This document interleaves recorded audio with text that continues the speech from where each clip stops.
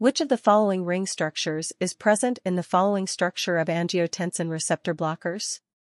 Option A, tetrahydropyrazolene ring. B. Imidazole ring. C. Pyrrolidine ring. D. Furan ring. Angiotensin receptor blockers, or ARBs, also known as angiotensin II receptor antagonists, are used to treat high blood pressure and heart failure. They are also used for chronic kidney disease and prescribed following a heart attack. They include irbesartan, valsartan, losartan, candesartan, telmisartan, azilsartan, olmesartan, eprosartan, etc.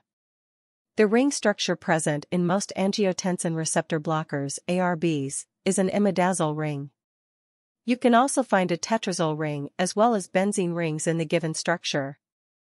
The imidazole ring is a five-membered ring with two nitrogen atoms, and it plays a crucial role in the pharmacological activity of ARBs by interacting with the angiotensin II receptors.